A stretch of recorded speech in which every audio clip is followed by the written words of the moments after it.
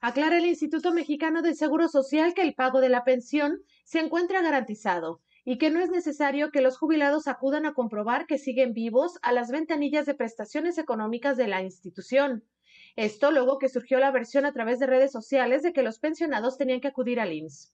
En el caso de ex trabajadores IMSS, pensionado o jubilado por años de servicio o edad, es necesario que revisen las nuevas reglas para comprobar supervivencia. Para mayor información se puede consultar al teléfono 800-623-2323, opción 3, pensionados, donde un representante del IMSS atenderá cualquier duda o a través de la página web www.ims.gov.mx diagonal pensiones.